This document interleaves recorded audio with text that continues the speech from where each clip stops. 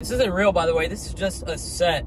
This is going to be a type of video that I haven't done in a long time. And I got some crazy stuff to talk about that can hopefully help you. If you're watching this video right now, maybe you are a young entrepreneur. Maybe you are an entrepreneur in general. You're younger than me, you're older than me. It doesn't really matter.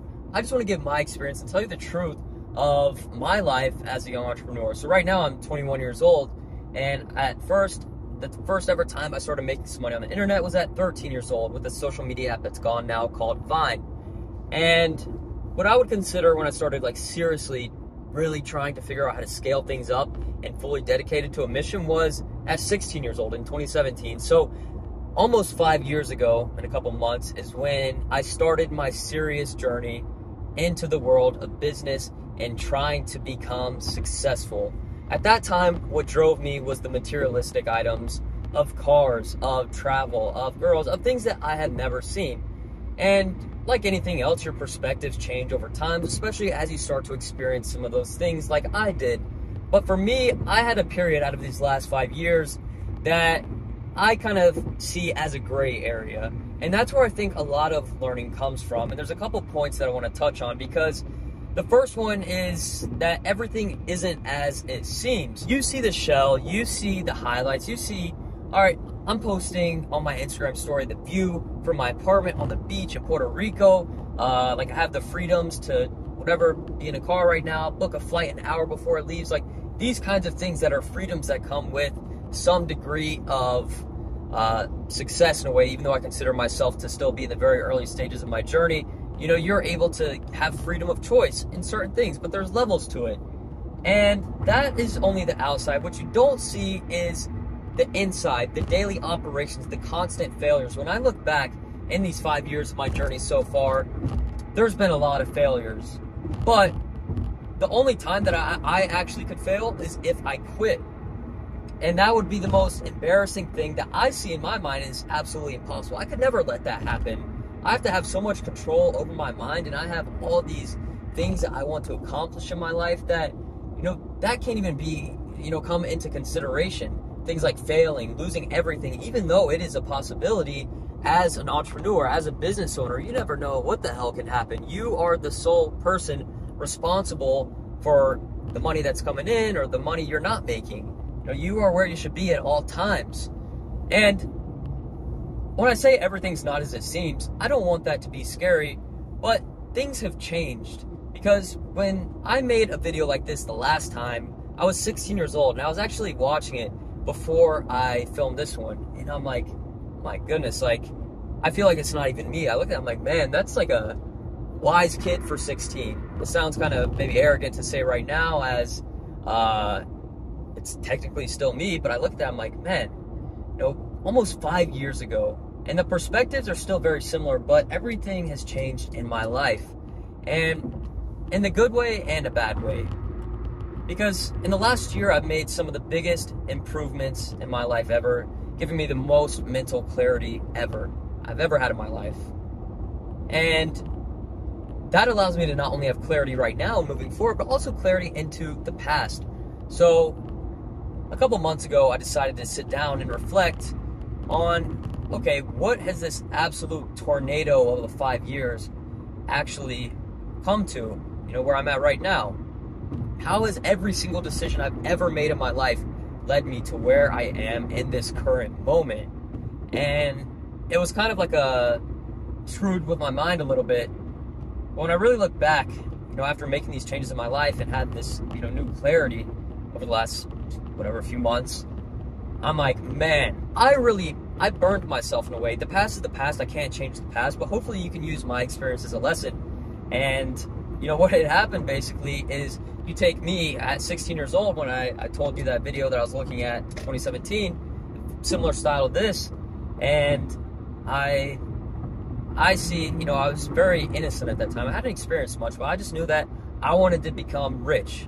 That's what motivated me was the materialistic things that I had never seen or experienced cool cars, travel, nice condos, houses, mansions, all this stuff that I never really had or experienced.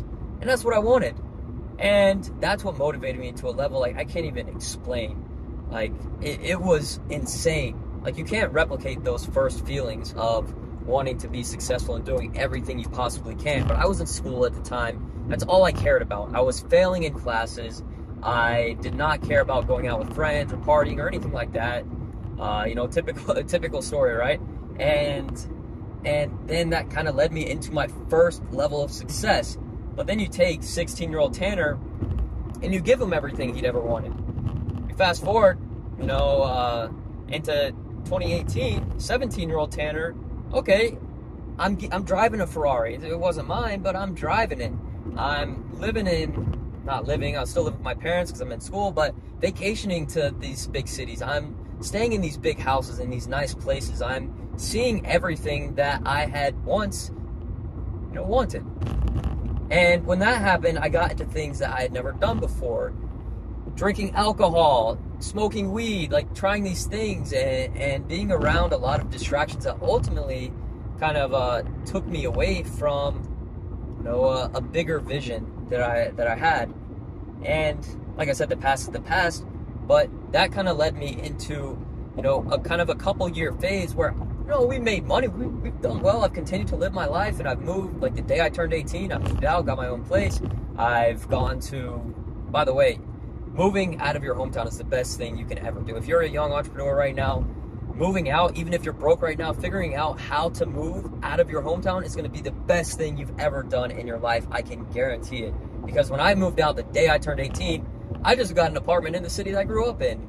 And that didn't help me any. So I ended up moving to Arizona. And now I live in Puerto Rico, which is completely different. I've never even been to Puerto Rico until I moved there. I realized that after several years, making some decent money, but not seeing like insane amounts of growth, I basically had realized that, okay, I need to be more disciplined in my habits to be able to achieve these higher levels because you can be comfortable whenever you're broke, you can be comfortable whenever you're making six figures, you can be comfortable, become comfortable making seven figures. That's just how it is. So I think as humans, when I've been in dark places, like um, like when I was living in that apartment in my hometown, you know, I was just kind of like down. I didn't know what I was doing or why I was doing it. You know, this is after like my life had been a whirlwind. I went from being dead broke in high school to making some money, seeing these things, traveling and experiencing this life to then back in that hometown, which I'd done to myself. And I was like kind of in a weird place. And I read this quote that said progression cures depression, which I think is absolutely true that as humans, we must always be evolving. We must always be working towards something, or else we wake up with nothing to look forward to and we decide to fill our life with vices and bad habits, whether that's junk food, whether that's some type of substance, alcohol, weed, I don't know, whatever it could be for you. And that's when, you know, your frequency is lowered and your, your frequency is what you frequently see. And if frequency is low, you're not going to be able to you know, if you can't help you first, you can't help anybody else. And I heard some of this stuff in a, a recent podcast I was listening to, Andy Frisella and Wes Watson. You should definitely listen to it uh, if you get the chance, which I recommend doing. Instead of listening to music at the gym, listen to that. Um, and, and I believe what they were saying to be absolutely true. You have to fix you before you can build a business, before you can be a good dad, before you can be a good doctor or be a good student, whatever it is. Because if not, then those vices and bad habits will fill up your life and you'll be left and, and stuck in a rut.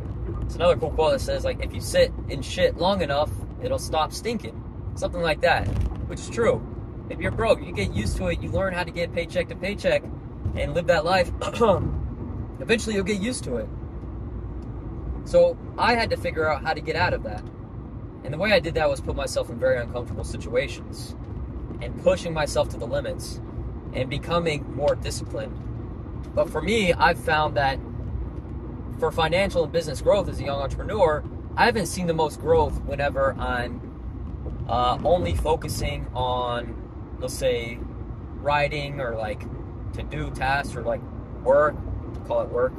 Um, you know, it could be many different things. Instead, what I focus on is when I realized I started focusing on myself, my own well being, things just started to happen you have more clarity. You wake up with stuff to do. You start somehow this magically happens. You start networking with new people that you once maybe looked up to, and now you're hanging out with them. Like this stuff happens because You know, the frequency and such, I, I can't get into because I don't know all the like. I, I don't know enough about it to explain it well, but I understand it in my head.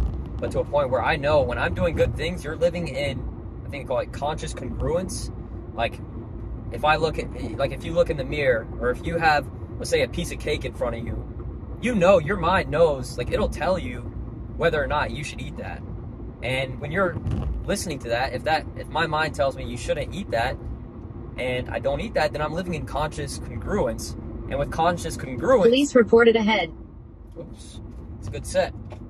Um, when you're living in conscious congruence is when your frequency is high, and then when your frequency is high, like everything essentially starts to become better. And that is what I had to learn to focus on as a young entrepreneur to take me to the next level. That's something I never even heard of, no, something I never even thought of because I stopped investing into myself and time wise and health wise.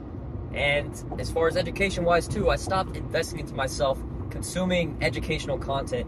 Instead, I was more so focused on consuming things that weren't the best for me, whether it's just entertainment videos, you know, compared to, which I don't think are bad. I still like to watch certain YouTube channels that are fun, whatever, car videos. Uh, but the, the formula that's simple is you have to produce more than you consume. And that's when I heard that, I started to really understand okay, I know what I need to do now. I know how to get to that next level. And same thing like with for me, I was like I was focusing on losing weight. And the simple formula is okay, you need to burn more calories than you consume. So I start tracking all my calories, all my macros, staying in a deficit. Oh my goodness, I'm losing weight. I'm in the best shape I've ever been in my life. You know, it sounds simple, but it's hard to do for most people, and because it's it's hard. But you can either you can either live with you know, suffering and being broke, or you can live with the problems of becoming rich or becoming wealthy, becoming successful, and whatever that means to you, and dealing with the problems that come with it. Because problems are always going to be in your life. You never can escape them fully. Um, and I thought I could, I guess. I thought I could not even fix everything with money, but I thought that things would just keep on going. And that brings me to where I am now, where I consider myself to be in the best shape I've ever been in my life. Physically, mentally, financially, surrounded with people that I care and love. Um, all of these things kind of go hand in hand. When you focus on you, you know, focus on helping yourself before helping others, you'll become the person that automatically is of value in a way. And a value can mean in, in different things, but overall, when you help yourself, you allow yourself to see your potential and what you can really do. And the truth is, not everybody is meant to be an entrepreneur. Not everybody is meant to be self-made because it is a very difficult path, to be honest. Um, ups and downs in my career so far, but I have such big dreams and beliefs in myself and what I'm planning to do that there's no other option. And that's exactly where I believe your mind has to be. But if you're watching this video right now, you're already in the top 1% of people who genuinely care about their future because most people, 99%, are only consuming content that doesn't help them. They wonder why they're depressed, wonder why they're broke, wonder why they feel some type of way, why they're fat. It's because they're consuming the wrong things. And that's the ultimate truth. And these are all things that I maybe could have learned sooner. These are all things maybe I could have learned later on. But I'm glad now that I've been able to find these things and take away these truths that I know make the most sense and are facts behind what it really means to be an entrepreneur as a young person and where I'm headed. And please, if you're a young entrepreneur, you're aspiring, know, it doesn't matter if you're young or old, report back to me here. Tell me what's going on. Tell me what your journey is, what you are working towards, maybe even what you're struggling with. I genuinely am curious to get other perspectives and see maybe how we can all help each other. So Hope you have a great rest of your day, and I will see you in the next video. Peace.